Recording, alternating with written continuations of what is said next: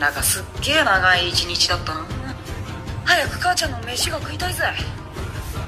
さっきのこいつのせいか。俺たちの家だろ。急に体が固まって。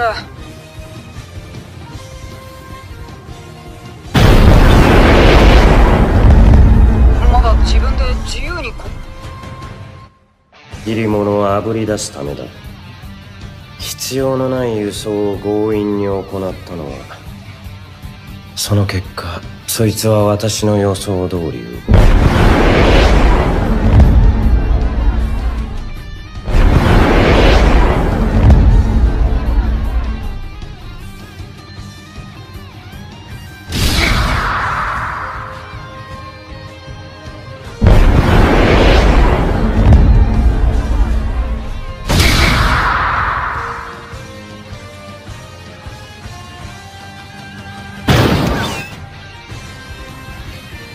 器が動き出したのを感じたのだ。